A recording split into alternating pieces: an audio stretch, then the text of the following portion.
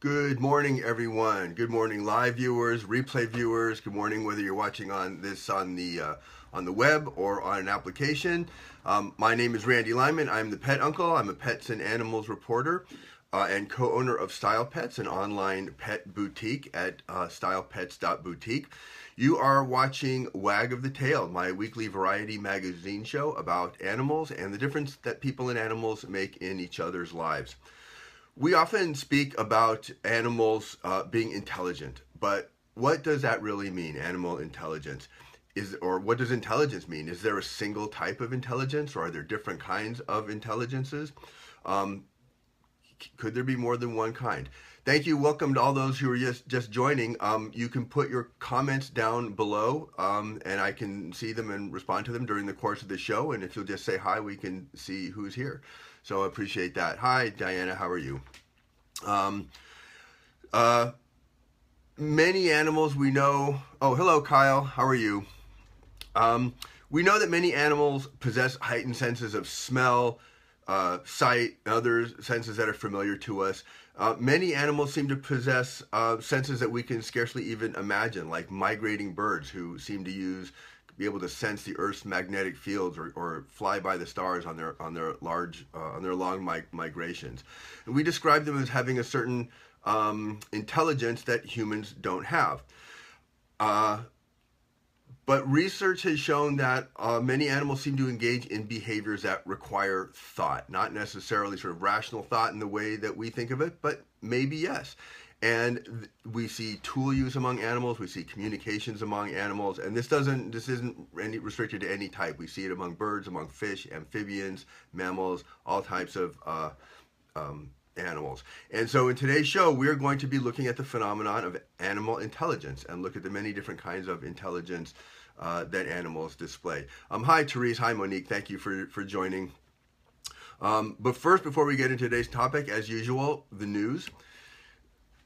Cat Table 2.0, and that's spelled capital C, capital A, capital T, and then the word able, like cat table 2.0, has been described as the perfect storage system for pets. It is, uh, as you can see, a series of blocks. There are four different versions that you can pile up and stack in a variety of different ways. Um, this has sort of just recently come on the market. Cat architecture or cat catitecture, as it is known, has become quite a phenomenon. If you look on Pinterest, you can see all kinds of designs and people have and things that you know, just things that are built up on the walls, those steps and shelving and, and little bridges and so on that just make a home a real place for for cats. It's a whole sort of new wave in architecture, designing for your cat. Well, a couple years ago, and I got to thank, yes, it is stylish, but wait till you see, oh, wait till you see what you have to get this. This came out before this was a cat table 1.0, came out a couple years ago, but now it's actually available on the market. This is for cats. You know how cats love to sit up on your keyboard and right in front of you while you're working? Well, there is a table that is designed for cats. It's about six inches thick and it has sort of an internal maze built into it so the cat can just crawl around throughout the table. This has won major design awards, international design awards, um, even uh, people for the ethical treatment of animals, PETA has given this an award uh, for thinking it really represents. So this is what yeah, this is what cat owners, especially who work at home, uh, really need is a table that their cat can just climb around in inside. These are uh, as I looked on the web, there there's a limited a number of them available, I guess, or it's a limited edition. They're like forty eight hundred dollars to get one of these things, um, but in terms of the uh, productivity that you will gain back by not having a cat sit on your keyboard, it's probably worth the money.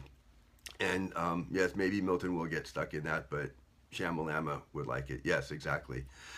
Uh, in in other news, at the down at the mouth of the Amazon River in Brazil, scientists have just discovered a coral reef in the uh, mouth of the Amazon River that may represent an entirely new type of ecosystem. Reefs typically exist in, in clear water where they can get sunshine, sunlight filtering down through the water.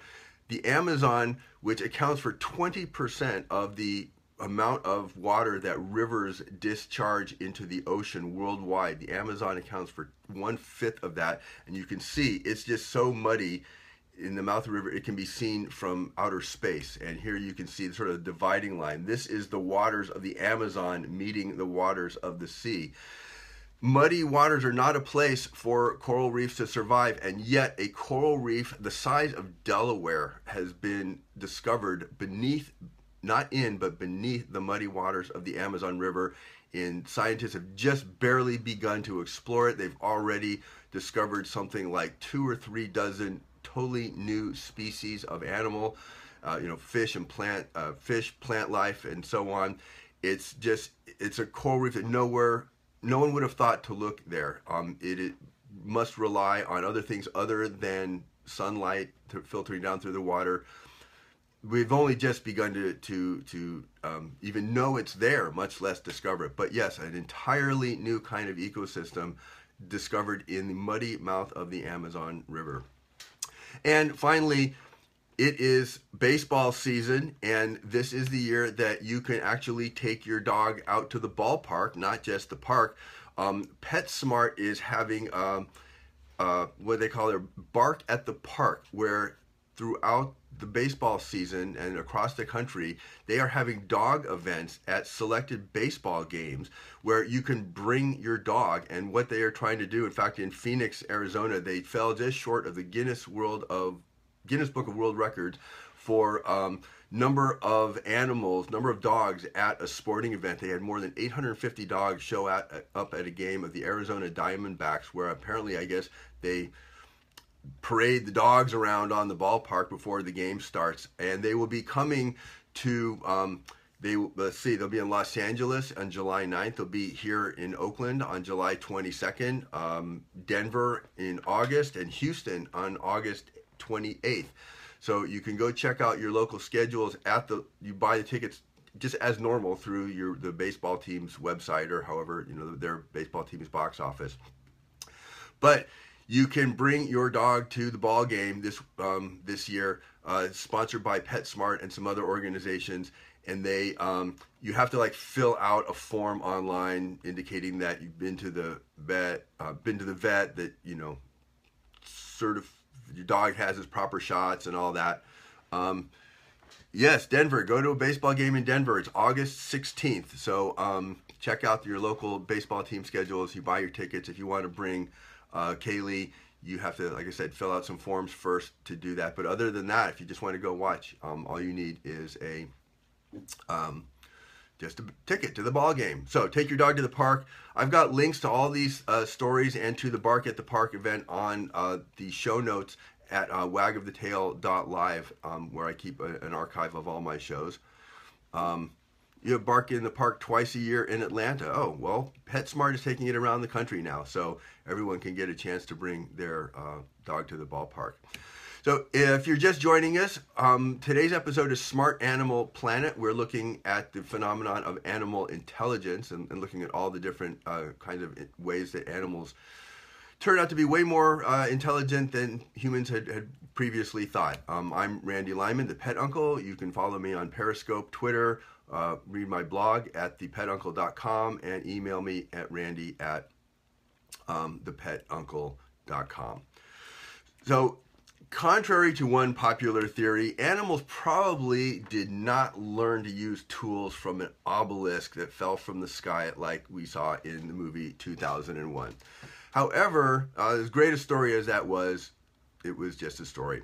However, animals have displayed some really mysterious and really miraculous forms of intelligence, like this photograph of uh, humpback whales doing what's called um, uh, they use what's called bu- bubble nets to catch fishes. And what they do is a group of humpbacks will get together near a school of fish.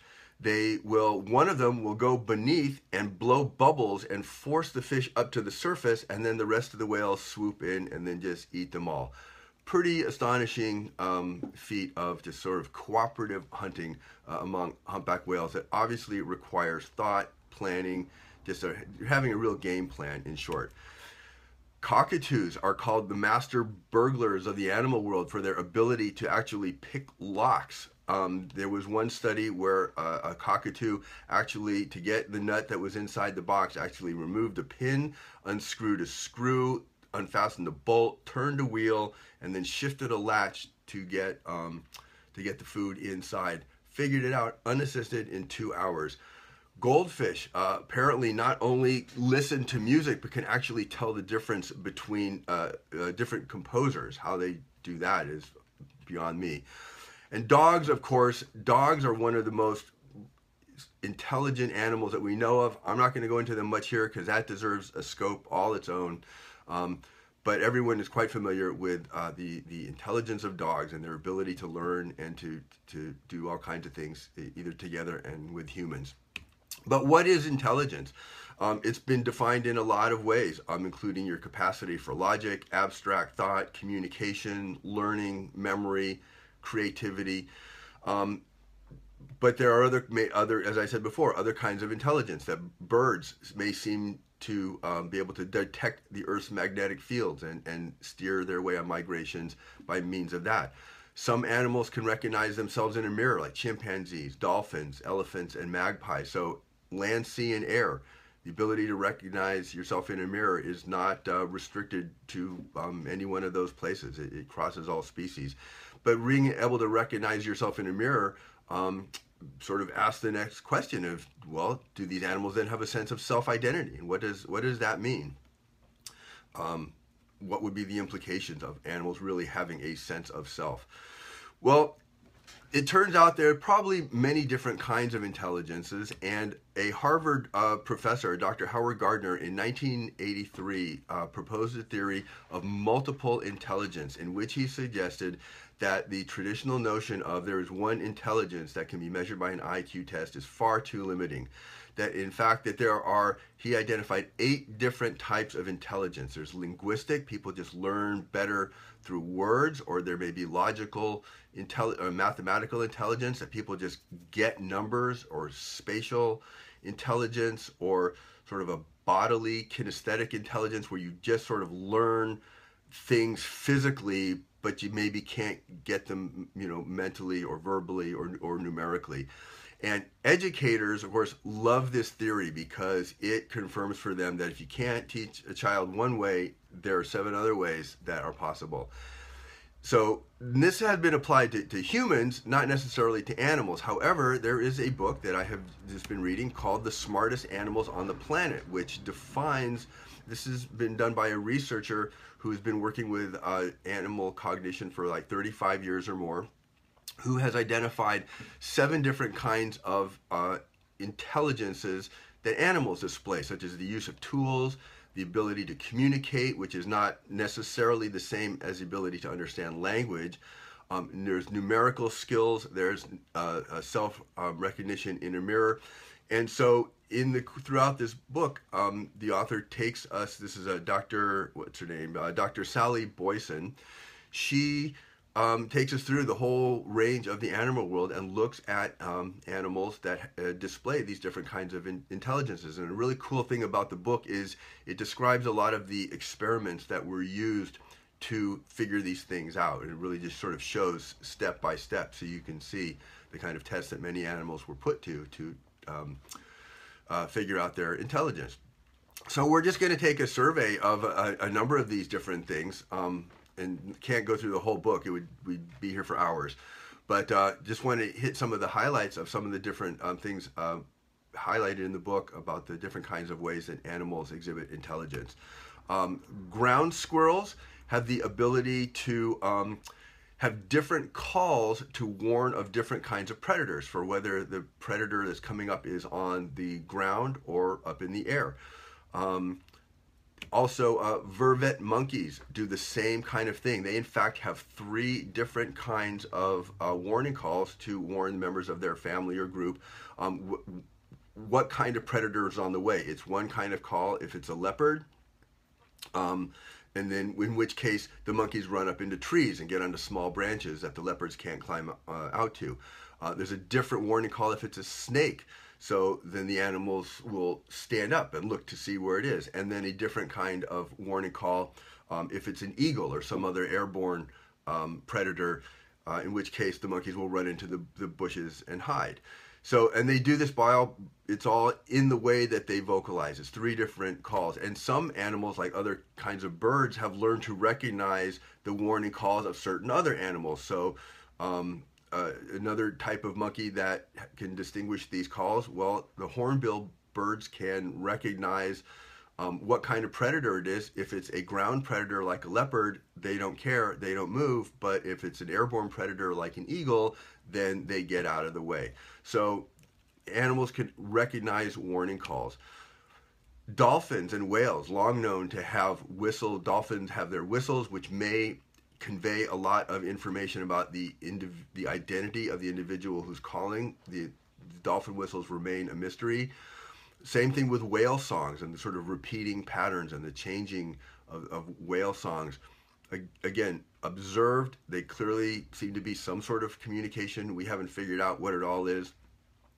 But um, whales, like elephants, other very large animals, tend to um, also uh, communicate by means of infra infrasound. Infrasound is very, very low frequency sound below the range of human hearing. Dogs and cats can hear above the range of human hearing.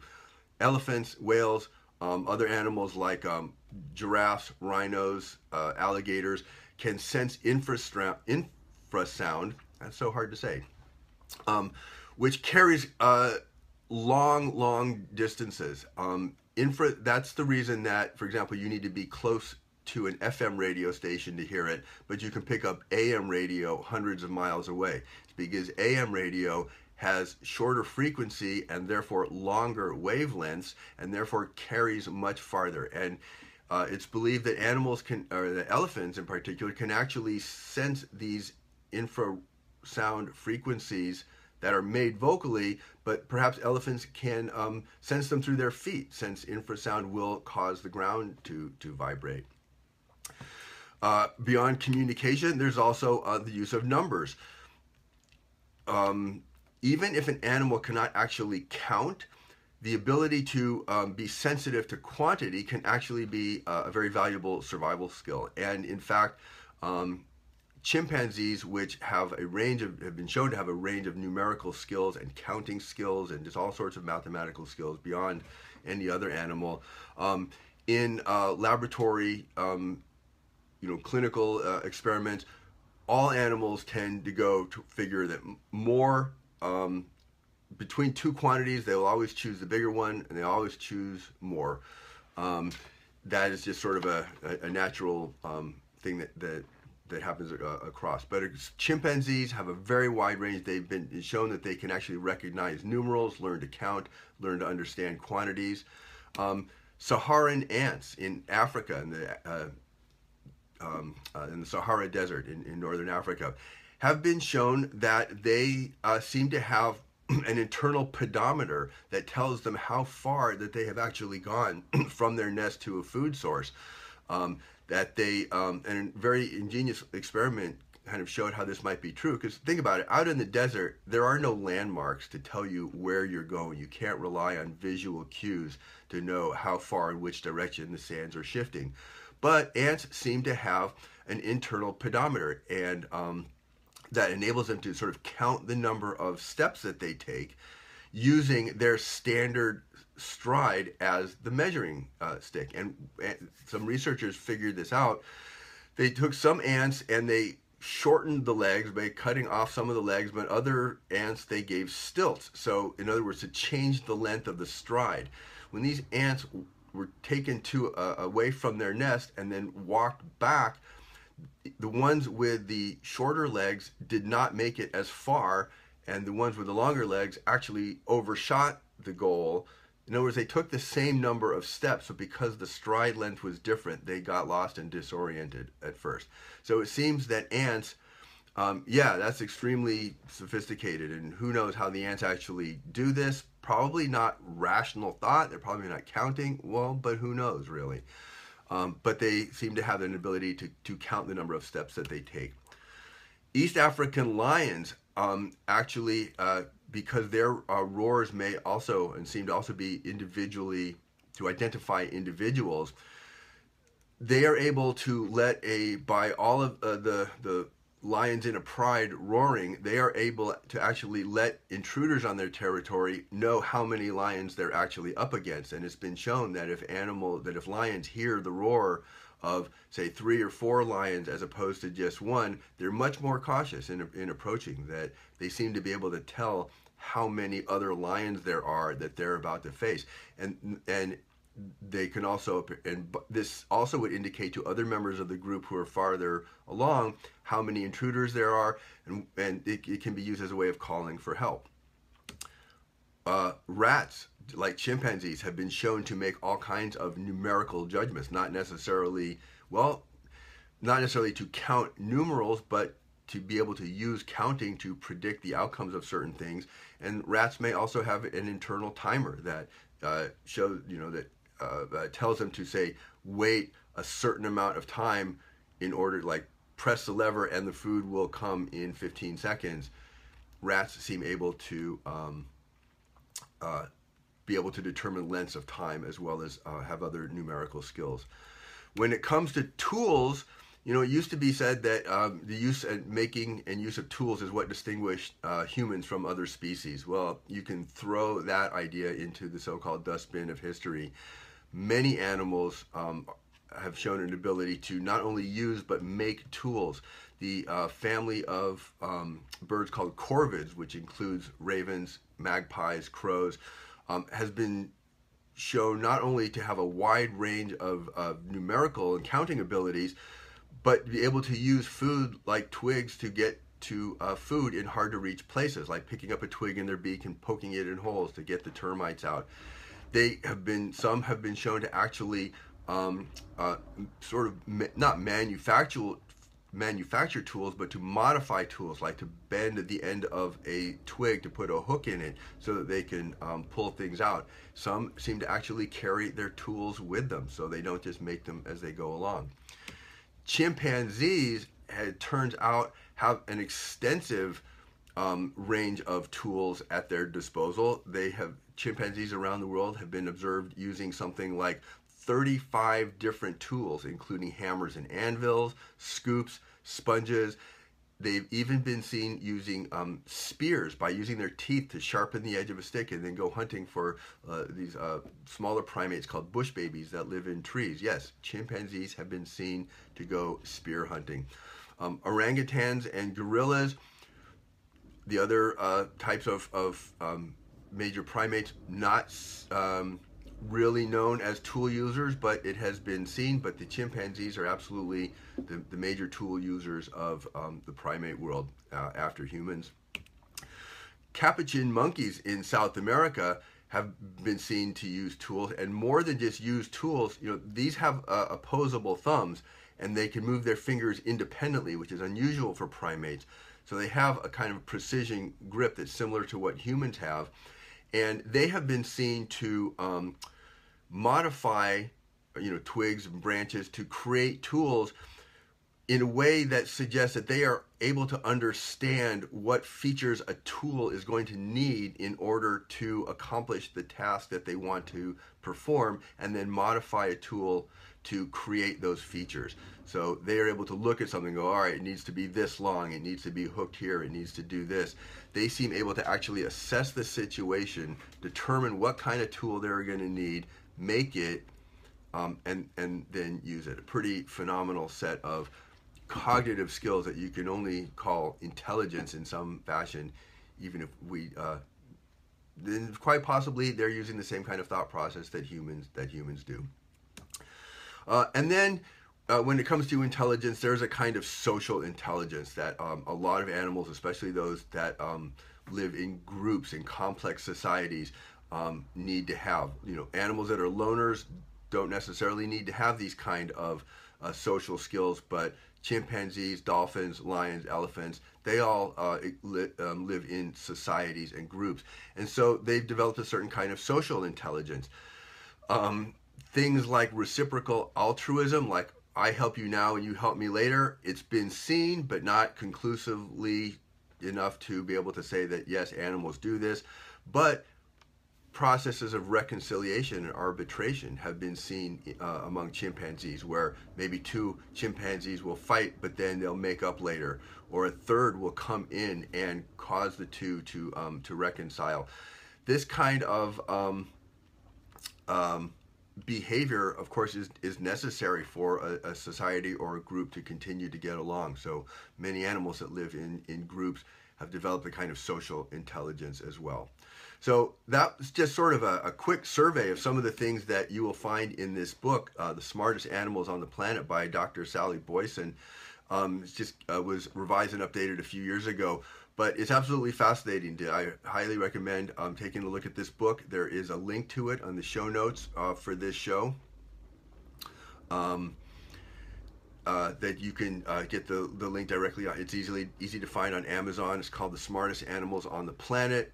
And take a look at it and just really get a, a nice survey, nice wide survey of just how smart um, the animals of this world really are. So thank you for watching Smart Animal Planet. I hope um, this has been educational and enjoyable for you. It's really been fascinating to just see the different kinds of, of skills uh, and, and, intelligences that animals display. It's not just um, the usual. Ah, thank you for saying that. I'm, I'm glad uh, that you learned. Believe me, I, I learned a lot doing the show as well. So thank you. That's it for another episode of Wag of the Tale, Mondays at 8 a.m. Pacific on Facebook forward slash the Petscope. Get the schedule at the thepetscopetv.com. Um, you can get replays and all my show notes at wagofthetale.live, which is just a category on my blog at thepetuncle.com. Uh, it's also on Medium, and you can um, see uh, the Style Pet store on Facebook at Style Pets Boutique. I'm Randy Lyman, the Pet Uncle. Follow me on Twitter, the web, uh, and email. Thank you again for watching. I will see you on the next show.